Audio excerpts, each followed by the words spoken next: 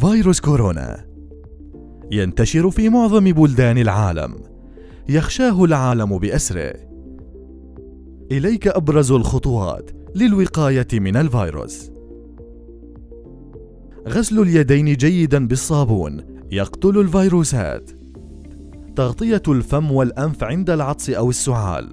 وغسل اليدين بعدها لمنع انتشار الفيروس. تجنب لمس العينين والأنف والفم حال ملامسة اليد لسطح يرجح وجود الفيروس عليه. إذ يمكن أن ينتقل الفيروس إلى الجسم بهذه الطريقة.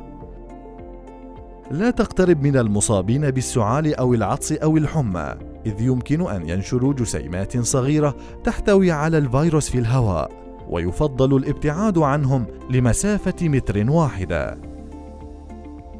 احذر من لمس الأشياء العامة فعادة ما يكون الفيروس عليها. لذا استخدم الكفية في المرافق العامة. كل السلامة لكم ولأطفالكم.